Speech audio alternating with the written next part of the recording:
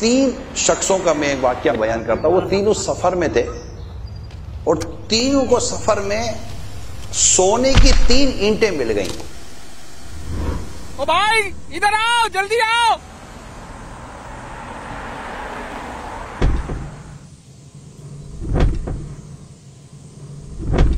वो खुश हो गए और ये सोने की तीन ईंटें मिल गई।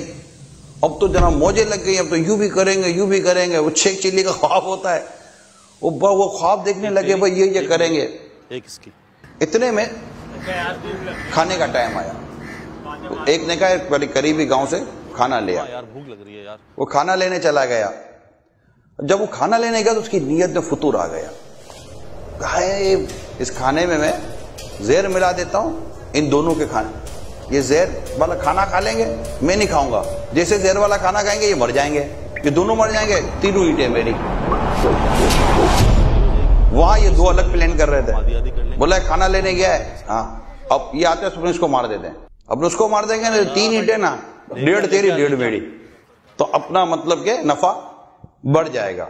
अच्छा उधर वो जैसे ही खाना लेकर आया इसने उनको मार दिया।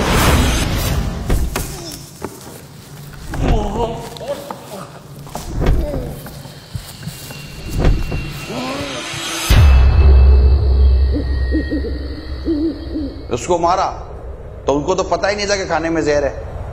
मार के वो खुश हो गए कि चलो डेढ़ डेढ़ अपनी, अब पेट भर के खाते हैं। जैसे पेट भर के खाना खाया, वो दोनों भी मर गए।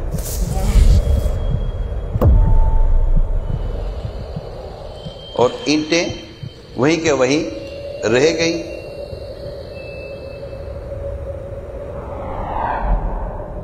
फरमान ख़ातमनबीन सल्लल्लाहु अलैहि वसल्लम, दो भूखे भेड़िए बकरियों के रेवड़ में इतनी तबाही नहीं मचाते जितनी माल की तमन्ना मुसलमान के दीन को ख़राब करती है।